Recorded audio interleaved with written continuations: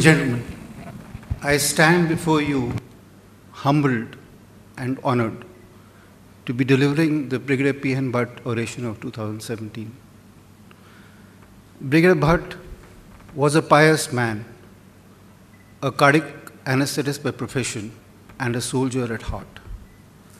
You can see that in his slide, this, his stance and the way he holds the president's hand. He was a true soldier. He used to say, through prayers, we talk to God. Through meditation, we listen to Him. He gave his 100% to his patients and his students. You see in this photograph, uh, President Brigadier Bhatt and Dr. Khalilullah, Professor Khalilullah, who, who is a very eminent cardiologist of our times.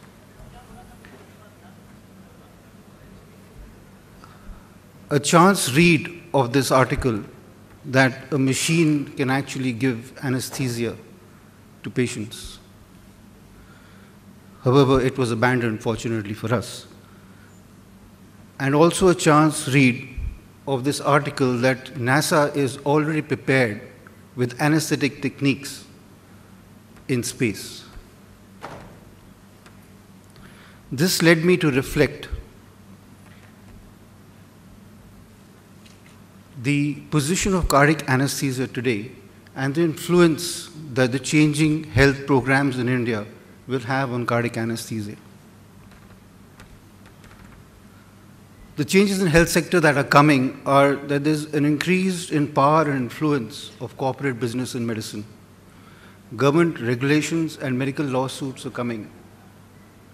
Changes in society, resource availability, pharmacology, genomics, molecular biology are soon going to change healthcare delivery. And advances in technology, web-based applications to medicine are going to stitch the country together and there's going to be an expansion of healthcare in India. However, insurance is going to come in and will actually influence care and reimbursement. There are going to be new forms of healthcare delivery. There are going to be changes in institutional and regulatory infrastructure. You can well imagine with the, with the clamp down on stent prices and catheter prices, how it's going to affect cardiac surgery and cardiac anesthesia and there are going to be new reimbursement models. Through that, we will have to maintain clinical excellence, education, and research. We will have to have evidence-based evidence medicine in our profession. What are the changes we perceive, or I perceive, in the next 10 years, within the next 10 years or so? We have big hospitals and smaller standalone heart centers mushrooming all over the country, tier 2 and 3 cities. At present, they're doing non complex cases, but very soon they will be doing all kinds of cases. In the tertiary care centers, OT lists are getting somewhat smaller. We're getting high risk, complex cases to do. There's a rise in minimally invasive procedures, and the cardiologists are gung-ho on catheter-based interventions. Will it reduce anesthesia requirement in any way?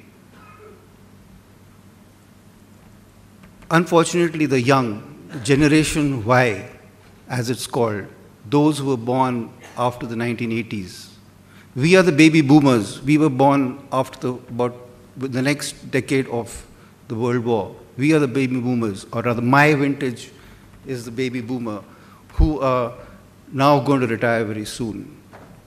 The generation Y has different expectations from life. Uh, therefore, we will probably have more work to justify our remuneration, and we are going to have a shortage of staff. So, what are the challenges? Corporatization of healthcare has its own advantages and disadvantages as far as medicine is concerned. The work will get redistributed to the peripheral areas of the country. We'll have to justify our existence. Our existence, our remuneration will be based on the value we give to the specialty, based on the quality and the service we provide, which will be based on outcome and evidence-based medicine. We'll probably have more intense working hours. We may have to justify, we may have to fight for our professional satisfaction and remunerations. And we must do research. Can we change these perceived challenges into opportunities? I'll just go into population statistics and health statistics before I answer that question. Do I have a pointer? Anyway, this, these population pyramids, they show the population of India in 1960s, in the, 90, in the 2020, and the population pyramid of US in 2020. In 1960, in, we now see that we are having a middle age group is increasing, and the elderly group is living longer. Uh, much different to what happened in the 1960s. So life expectancy in India is increasing. In fact, we have 13 million uh, population which is more than 65 years old. And this means that for this group, the middle age group and the elderly group, we will require more medical facilities and more procedures. Cardiovascular diseases are increasing over communicable diseases. And it is projected that it will be much more than the communicable diseases that we have in the country today. At the moment, coronary, coronary artery disease. Coronary artery disease is the biggest killer, followed by lung disease in India. We have 30 million coronary artery disease patients, which constitutes 25% of the world CAD population, and it is growing by 5 to 6% per year. Compare it with the Western countries where CAD is actually decreasing. We have 270,000 cases of symptomatic AS. We have 0.3 million of rheumatic heart disease, 120 million of hypertensives and we add 180,000 children with congenital heart disease every year. In 1990, we did 70,000 angiographies. In 2007, 10,000 CABGs. Last year, we did approximately 2 lakh CABGs in the country. Unfortunately, the costs are high. And worse is that the patient has to pay for his medical expenses. Government and, and health insurance at the moment is nascent in India. However, there is a bright future. India is one of the economies which is probably going to grow between 6 to 7% over the next decade. And later, it will be one of the emerging economies. The GDP will be much higher than the rest of the world we already have 1.4% of our GDP allocated to health expenditure, and this fiscal, in the budget, it was announced that will be raised by 10%. Therefore, ladies and gentlemen, we do have a boom coming in the health sector. The government is already doing what they can. They're having 10 more All India Institute of Medical Sciences. 58 district hospitals are going to be converted to medical colleges and etc., etc. And the private sector is already following. It is projected that in the next year, 10 years, there will be 500, 5,000 PG students added to the country. And technology. This is an interesting platform being developed at a hospital. It's, it's, it's a company called DocBox from America and what they're doing is they're having a single platform which will link the electronic health record, the lab, the pharmacy, the medical devices, whether it's an intra-aortic balloon pump, a syringe pump, or the monitor or the ventilator, to the patient. And it all come up onto one screen. And it can be accessed from almost anywhere. In fact, the Army has already asked them to give them a demonstration, which they're going to do in about a month's time. This is what it looks like.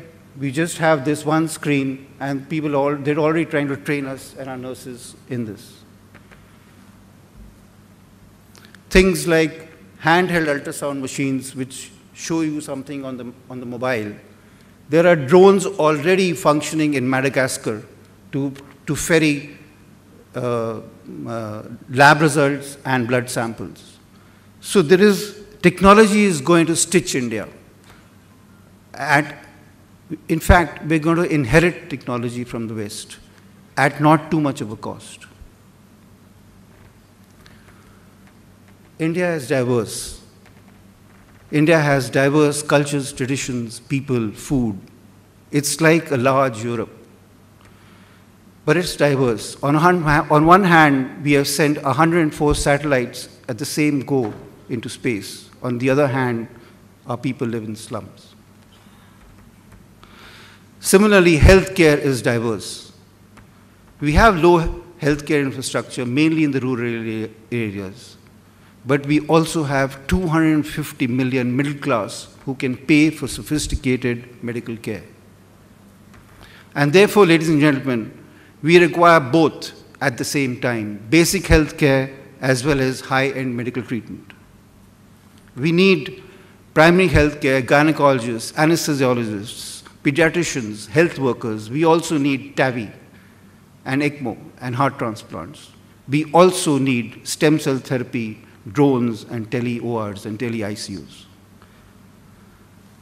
Therefore, we do have opportunities. Healthcare is going to expand, technology will stitch us together, we will have a manpower requirement which gives us the opportunity to teach. However, we still have a few challenges. Can we change these challenges, or rather, can we challenge these challenges to make them into opportunities? Is CABG dead? And if you go through this slide, this is from uh, the state of California, uh, a slide of the various cardiac surgical procedures. A consistent rise in primary PTCA. This is elective PTCA going down and plateauing out. This is CABG going down and now plateauing out. This is other cardiac surgeries and this is valve surgeries, which are remaining more or less the same. There is still scope for CABGs. There's a problem in, we don't have data in India, unfortunately. So I took out our data from our hospital. What does it show? The same things, that cases are going down somewhat. Other cardiac surgeries are remaining the same, more or less. PCIs are also remaining the same, more or less. CABs have taken a dip. But I'm sure, ladies and gentlemen, the jury will be out in, a, in, soon in a year or so, with the government clamping down on prices of disposables, valves, and implants. This, we may see a CABG rise. So we do have opportunities. CABG, I don't think, is dead. We've only done 145 TAVIs so far compared to 50,000 in the world. The Drug Controller General of India approved this only in 2015. And they also made a clause. It should be done where there is a hybrid theater and a heart team. We're going to have the results of the intermediate risk core valve SURTAVI trial, which may increase or expand the opportunity of uh, TAVIs. And of course, we will be involved as cardiac anesthesiologists. Though it has gone from GA to conscious sedation, GA is still required in these high risk cases. MitraClip will come. Abbott is convincing DGCI since 2010. It is on the cards, and we will be involved because of the potential complications that it can happen. We've done only 409 or so, or 400 transplants so far in the country compared to about 4,000 per year in the rest of the world. But the government has now taken a stance. It is encouraging transplants, it is encouraging organ transplants. We have about 8 to 10 million of patients with heart failure and we will be required for anesthesia for patients who already had a heart transplant for different surgeries. VADs have not taken off, probably because of the cost. We've done just 45 so far, but I'm sure they'll come up if the costs come down. Hybrid ORs are the latest fashion, the need, and we will form part of the heart team.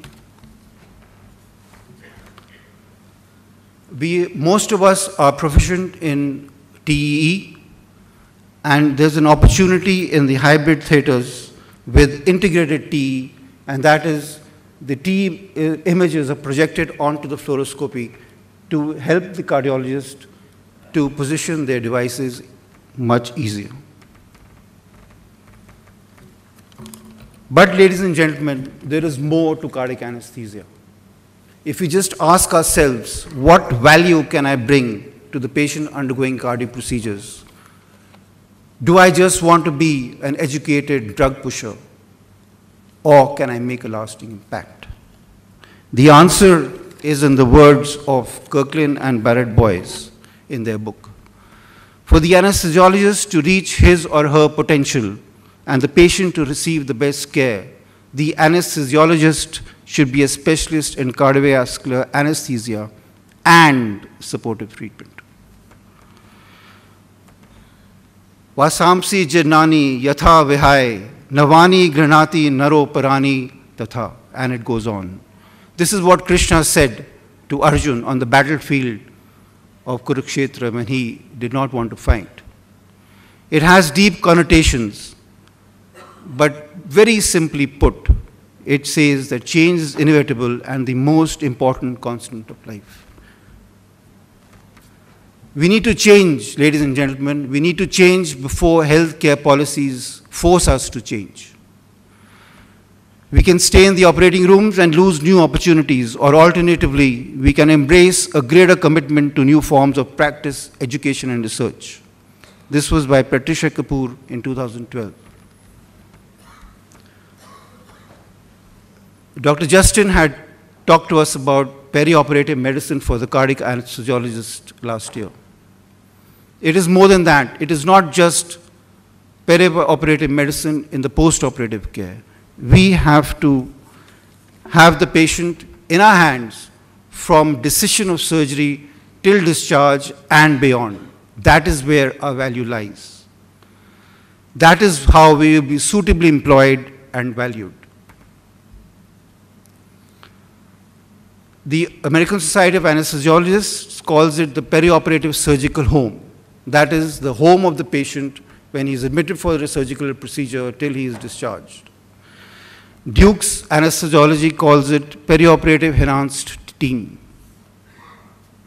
What is it really? It is not just a pre-anesthetic checkup that we need to do. We need to stratify the risk of these patients, help in reduction of the risk, and optimize them before surgery. We need to hone our skills in medicine. We need to take care of diabetes and hypertension, pulmonary functions, nutrition, and then send the patient for surgery. We need to do it ourselves. Only when required, we should call in other disciplines.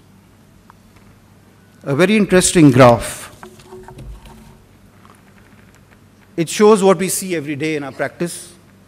There are patients in the post-op who are ahead in recovery. There are patients who permanently go off track.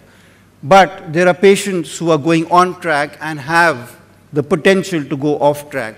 And this is, we, is what we need to recognize, and we have the ability through our skills and knowledge to recognize and get them on track. This is what the cardiac anesthesiologist needs to do.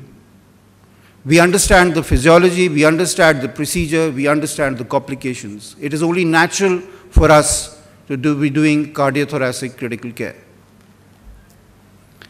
In the post-operative period, if we have honed up our skills,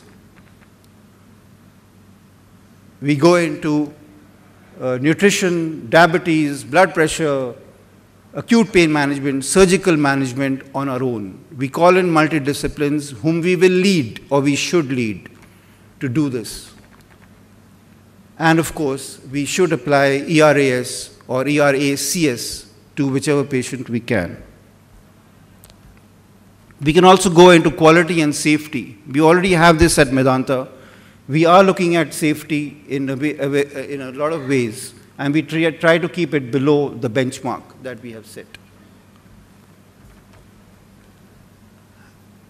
The magic wand of the cardiac anesthesiologist has brought us on equal footing in many a way with the cardiac surgeon.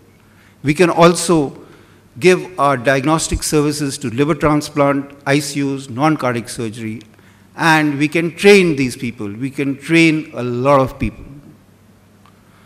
And, but we also need to train in perioperative ultrasound, which many of us do not do so far. We should be leaders of ECMO programs because of our knowledge of extracorporeal circulation, cannulations, coagulopathies, critical care. ECMO is fast rising, though we've done just 600 last year. They project about 1,000 this year, and the anesthesiologist should be involved. Coming to training of the cardiac anesthesiologist, we have formal training programs of which comprise only 125 seats, of which, as of today, only 98 are occupied. We find the generation Y not wanting to come into cardiac anesthesia. That applies to cardiac surgeons also. We have an apprenticeship model of training which we've been carrying on for many, many years. We need to change it. We need to change it to clinical teaching on the job, online courses, online assessments, simulation training, and our exit exam should also be online, clinical, and simulation based. The simulation based training reduces the time of training required. A novice would start from here. From simulation training, he starts from here. And it's not going to be very expensive. We have this young anesthesiologist from Coimbatore who has made this model himself in his lab.